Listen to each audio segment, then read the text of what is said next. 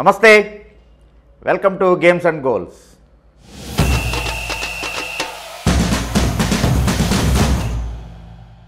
India West Indies చివరిది ఐదవ T twenty నాలుగో మ్యాచ్ జరిగినటువంటి అదే వేదికలో యుఎస్ఏ ఫ్లోరిడాలో జరగబోతోంది. ఇప్పటికే సిరీస్ని కైవసం చేసుకున్నటువంటి టీమిండియా ఐదో మ్యాచ్ని కూడా విజయంతో ముగించాలి. దానివల్ల రాబోయేటువంటి టీ ట్వంటీ వరల్డ్ కప్కి మరింత ఉత్సాహంగా సన్నద్ధం కావాలి అని చెప్పేసి అని భావిస్తూ ఉంటుంది. కోర్స్ ఇంకా అక్టోబర్లో జరిగేటువంటి టీ ట్వంటీ వరల్డ్ కప్కి ముందు ఆస్ట్రేలియాతోటి సౌత్ ఆఫ్రికాతోటి కూడా సిరీస్లు ఉన్నాయి భారత్కి. కానీ ప్రతి మ్యాచ్ గెలవాలి అనేటువంటి కసిలో ఇండియన్ టీం కనబడుతోంది. ప్రస్తుతం వాళ్ళకున్నటువంటి ఫామ్ కావచ్చు లేకపోతే కెప్టెన్ రోహిత్ శర్మ అలాగనే హెడ్ కోచ్ రాహుల్ ద్రావిడ్ వ్యూహాలన్నీ కూడా దేన్ని తేలిగ్గా తీసుకునేటువంటి పరిస్థితి లేదు వాళ్ళిద్దరికీ. కాకపోతే ఈ మ్యాచ్ని ప్రయోగాలకి ఉపయోగించుకునే అవకాశం ఉంది. అటు మరొకసారి ఇషాన్ కిషన్ అలాగనే రేయా సయ్యద్ ఇద్దరు కూడా ఫామ్లోకి వచ్చేటువంటి విధంగా వాళ్ళకి తుది జట్టులో స్థానం కల్పించే అవకాశం ఉంది. అలాగనే ఈ సిరీస్లో మొదటిసారి కుల్దీప్ యాదవ్ కూడా అవకాశం ఇస్తారేమో చూడాలి.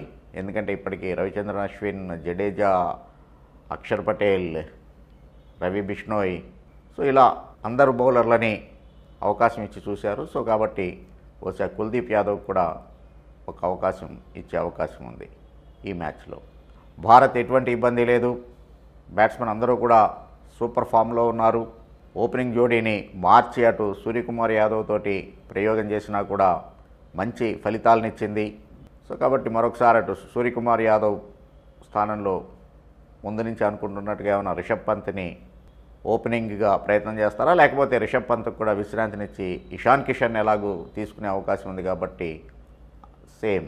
రోహిత్ శర్మ అండ్ ఇషాన్ కిషన్ ఇన్నింగ్స్ని ప్రారంభం చేస్తారా చూడాలి. ఇలాంటి కొన్ని కొన్ని ఎక్స్పెరిమెంట్స్ చేసే అవకాశం భారత్కి ఉంది ఆ వెసులుబాటు ఉంది. మరొక వైపు అటు వెస్టిండీస్ విషయానికి వస్తే కనీసం ఆ ఓటమి అంతరాన్ని తగ్గించాలి అనే ఉద్దేశంతో త్రీ టూ తోటి సిరీస్ని ముగించాలి అనే ఉద్దేశంతో ఖచ్చితంగానే విజయం కోసం పోరాడుతుంది వెస్టిండీస్ కేవలం రెండో మ్యాచ్లో మాత్రమే విజయాన్ని సాధించింది.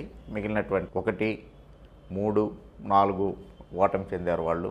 ఒక రకంగా చూస్తే వెస్టిండీస్ జట్లో టీ ట్వంటీ ఫార్మెట్కి సరిగ్గా సరిపోయినటువంటి బ్యాట్స్మెనే ఉన్నారు అందరూ కూడాను. కానీ వాళ్ళు సమయానుకూలంగా రాణించలేకపోతూ ఉన్నారు. ఒక మ్యాచ్లో బ్రాండన్ కింగ్ మెరుపులు మెరిపిస్తే తర్వాత కైల్ మేయర్స్ మరొక మ్యాచ్లో మెరుపులు మెరిపించాడు అంత మట్టుకేను. ఆ తర్వాత అటు నిక్లస్ పోరన్ పూర్తిగా ఆఫ్ కలర్ కనబడుతూ ఉన్నాడు. అలాగనే జేసన్ హోల్డర్ ఎన్నో ఆశలు పెట్టుకున్నారు. అతను కూడా అటు బ్యాట్ బాల్ రెండింటితోటి కూడా రాణించలేకపోతూ ఉన్నాడు. హెట్మెయిర్ ఇంక్లూషన్ కూడా వెస్టిండీస్కి పెద్దగా ఏమీ ఉపయోగపడట్లేదు.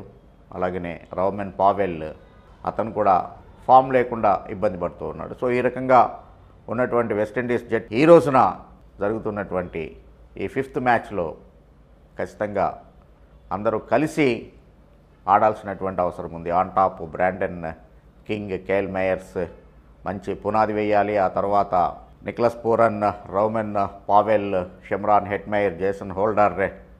So వీళ్ళందరూ మిడిల్ ఓవర్స్లో రాణించాల్సినటువంటి అవసరం ఉంది.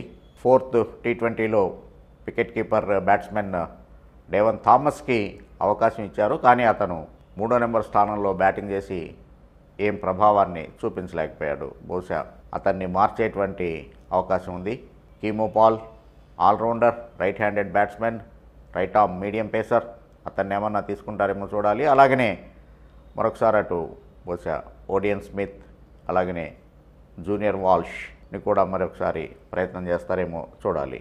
ఏదైనా కానీ లెఫ్ట్ ఆర్మ్ పేసర్లకి భారత జట్టు ఇబ్బంది పడుతుంది అనే ఉద్దేశంతో అటు డామ్నిక్ డ్రాక్స్ని తీసుకుని వచ్చారు. మూడు నాలుగు టీ ట్వంటీల్లో పెద్ద ఇబ్బంది ఏమీ లేకపోయింది ఇండియన్ బ్యాటర్స్కి. పర్టికులర్గా అటు మెక్కాయిని కూడా చాలా సునాయాసంగా నెగోషియేట్ చేయగలుగుతూ ఉన్నారు భారత బ్యాటర్లు సో అందుకని ఏ రకమైనటువంటి బౌలింగ్ కూర్పులతోటి వెళ్ళాలి అనేటువంటిది పూరన్కి నిజంగానే మిలియన్ డాలర్ల ప్రశ్నగా ఉంటుంది. ఆ తర్వాత పూరన్ బహుశా అటు టాస్ గెలిచి కూడా ముందు ఫీల్డింగ్ చేయాలని తీసుకునేటువంటి నిర్ణయాలు అతనికి బెడిసి కొడుతూ ఉన్నాయి.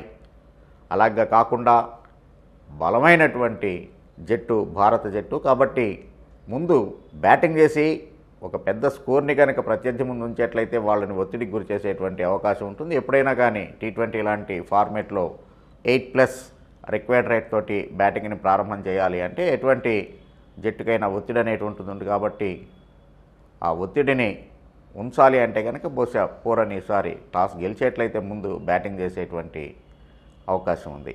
సహజంగానే ఈ వికెట్ వన్ సిక్స్టీ వన్ సెవెంటీకి సునాయాసంగా చేయగలరు ఈ వికెట్ మీద. అలాగనే చేసి చేయటం కూడా వన్ సెవెంటీ ప్లస్ అంత పెద్ద ఇబ్బంది ఉండదు. బట్ ఎప్పుడైతే వన్ నైంటీ దాకా వెళ్ళిపోయిందో ఫోర్త్ మ్యాచ్లో వన్ నైంటీ టూ టార్గెట్ అనేప్పటికీ ఆ ఒత్తిడి ఉంటుంది. సో అలా కాకుండా ఒకవేళ కనుక one seventy one seventy five target కనుక ఉంచుకోగలిగేట్లయితే కొంచెం ఫైట్ చేసేటువంటి అవకాశం ఉంటుంది. ఏదైనా కానీ ఇండియన్ టీం అటు ముందు బ్యాటింగ్ చేయాల్సి వచ్చినా లేకపోతే బౌలింగ్ చేయాల్సి వచ్చినా కూడా ఎటువంటి ఇబ్బంది లేకుండా ఉంది కాబట్టి రోహిత్ శర్మ బహుశా టాస్ గురించి పెద్దగా పట్టించుకోడేమో కానీ I think Nicholas Pooran toss గెలిస్తే మాత్రం ముందు బ్యాటింగ్ చేయడానికే నిర్ణయించుకుంటాడని భావిద్దాం. ఏదైనా కానీ సిరీస్ని విజయంతో ముగించాలి అని చెప్పేసి అని రెండు జట్లు భావిస్తూ ఉంటాయి. బట్ ఇండియా డెఫినెట్గానే ఎడ్జ్లో ఉంది. సో ఫోర్ వన్ తోటి ఇండియా సిరీస్ని కైవసం చేసుకుంటుంది అని చెప్పేసి అని భావిద్దాం. Thank you. Thanks for watching. Games and goals